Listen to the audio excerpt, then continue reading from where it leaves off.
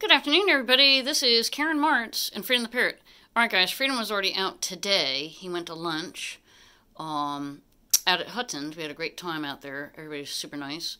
And then we're going back out. We're going to say hi to Sherry, his favorite person. And um, and I was just cleaning out the cage briefly, and then he jumped out. So, hey, Freedom. Well, he didn't even jump. He flew.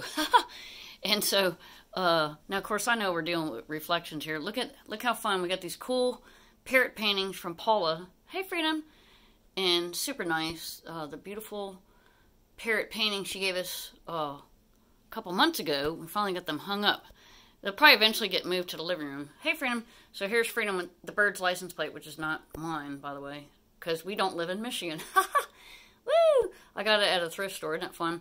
All right, guys. So uh, I've got to get Freedom to fly around the corner at a, at a high speed so we can go say hello to Sherry. Hey, Freedom. Woo!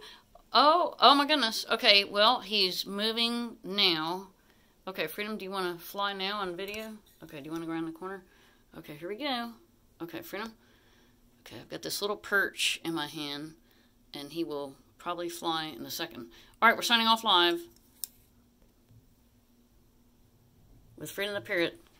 Have a great day.